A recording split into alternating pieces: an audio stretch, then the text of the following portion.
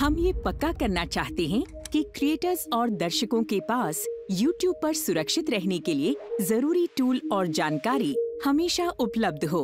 ज़्यादातर क्रिएटर्स और दर्शक YouTube का इस्तेमाल वीडियो शेयर करने, एक दूसरे से जुड़ने और कुछ सीखने के लिए करते हैं।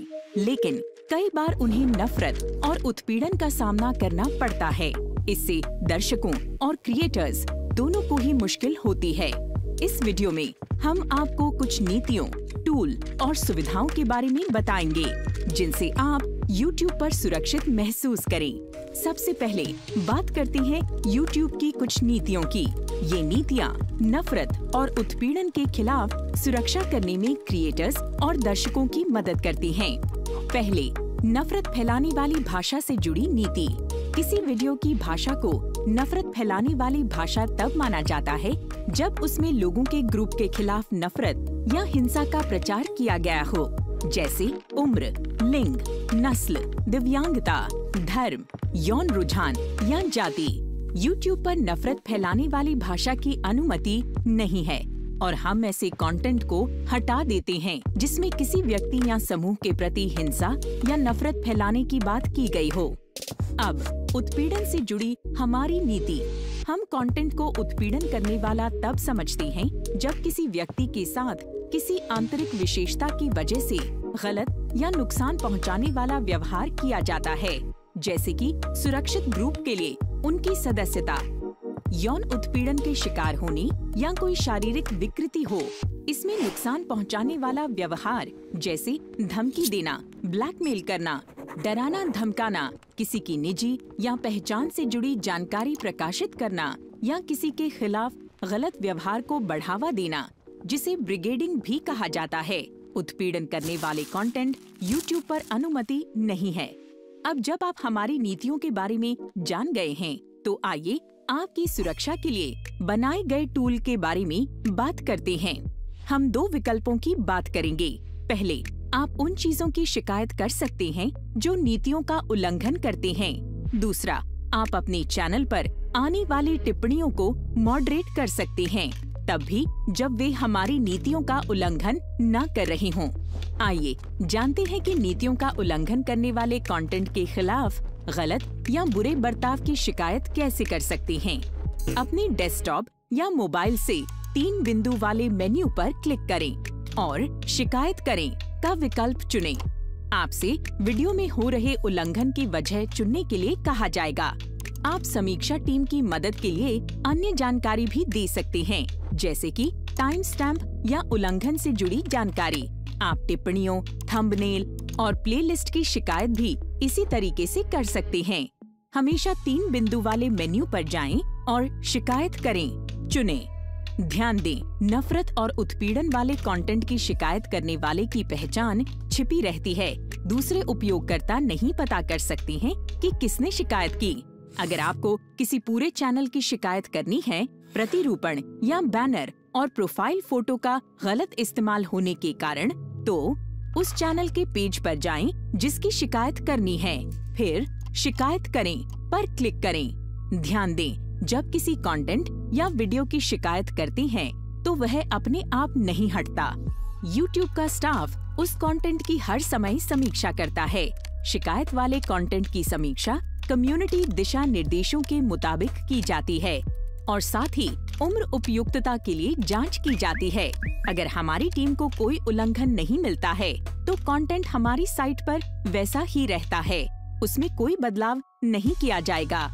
अगर कोई आपकी निजी या खास पहचान से जुड़ी जानकारी का इस्तेमाल किया जा रहा है या निजता से संबंधित आपको कोई समस्या आ रही है तो कृपया हमारी सहायता केंद्र पर जाएँ। यहाँ आप निजता से जुड़ी शिकायत करने का तरीका देख सकते हैं। चलिए, अब टिप्पणियों को प्रबंधित करने वाले टूल के बारे में बात करते हैं। अगर आपको टिप्पणियों में उत्पीड़न या बुरा बर्ताव दिखाई दे रहा है तो आप इसका इस्तेमाल कर सकते हैं। सबसे पहले आप अपने चैनल पर की गई टिप्पणियों को हटाने का विकल्प चुन सकते हैं। आप यह काम YouTube स्टूडियो में प्रकाशित किए गए टैब से कर सकते हैं, या वीडियो में जाकर वॉच पेज से डेस्कटॉप या मोबाइल पर तीन बिंदु वाले मेन्यू पर क्लिक करके और हटाएँ। चुनकर ऐसा कर सकते हैं। टिप्पणी करने वाले को पता नहीं चलेगा कि आपने उनकी टिप्पणी हटा दी है। अगर कोई लगातार गलत टिप्पणियाँ कर रहा है तो आप अपने चैनल पर उसकी टिप्पणियाँ छिपा सकते हैं। टिप्पणी करने वाले को छिपाने से आपके वीडियो पर की गई उसकी सभी टिप्पणियाँ छिप जाएँगी। उसकी पिछली सभी टिप्पणियाँ 48 घंटों में छिप जाएँगी और उसे पता नहीं चलेगा कि आपने टिप्पणी छिपा दी है। साथ ही, आपकी वीडियो पर नई टिप्पणी करते समय भी उन्हें यह बात पता नहीं चल पाएगी। टिप्पणी करने वाले को छिपाने के दो तरीके हैं।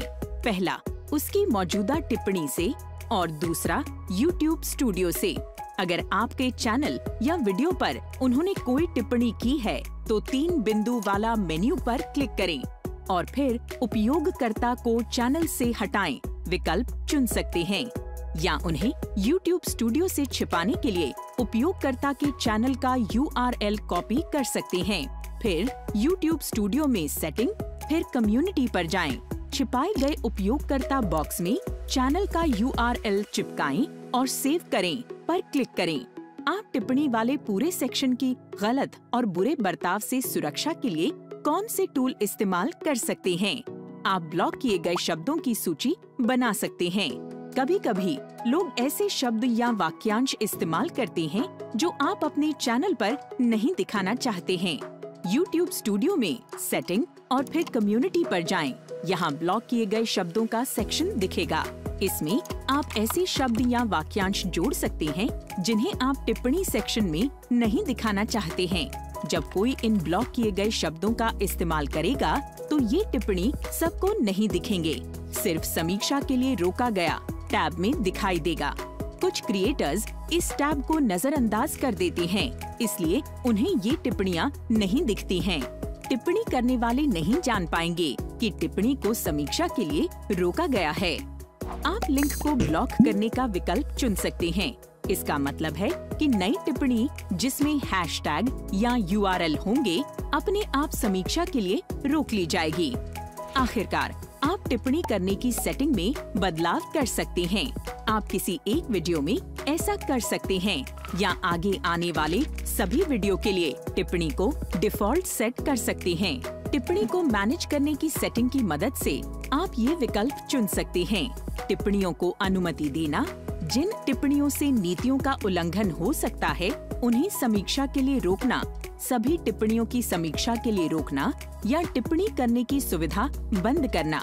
अगर आप टिप्पणियों को रोकने का विकल्प चुनते हैं वे तब तक नहीं दिखेंगी जब तक आप मंजूरी नहीं देते गलत लगने वाली टिप्पणियाँ आपके टिप्पणियाँ पेज पर YouTube स्टूडियो में समीक्षा के लिए रोकी गई टैब में जाकर 60 दिन के लिए रोकी जाती हैं। ऐसी टिप्पणियाँ जो खास तौर पर आपत्तिजनक होती हैं, इस टैब में सबसे ऊपर दिखती हैं। याद रखें, आप यह टैब पूरी तरह नजरअंदाज कर सकते हैं ताकि आपको ये टिप्पणियाँ न देखनी पड़े किसी एक वीडियो के लिए यह सेटिंग बदलने के लिए वीडियो की जानकारी पेज पर जाएँ, फिर ज़्यादा दिखाएँ और फिर टिप्पणियाँ और रेटिंग सेक्शन पर जाएँ। आगे के सभी वीडियो पर आने वाली टिप्पणियों के डिफ़ॉल्ट सेट करने के लिए YouTube स्टूडियो में सेटिंग पर जाएँ, फिर कम्युनिटी और उसके बाद डिफ़ॉल्ट पर जाएँ। जो सेटिंग आप चुनते हैं आपके सभी नए वीडियो की टिप्पणियों पर लागू होंगी हमारे क्रिएटर्स दर्शकों और पार्टनर की सुरक्षा हमारी सबसे बड़ी प्राथमिकता है और हम आपको इन टूल को इस्तेमाल करने के लिए प्रोत्साहित करते हैं। इस यूनिक और वाइब्रेंट कम्युनिटी की सुरक्षा में आपके मदद के लिए धन्यवाद। देखने के लिए धन्यवाद।